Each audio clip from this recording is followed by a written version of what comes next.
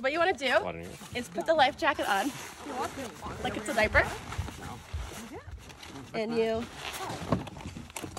oh. hook it up, and then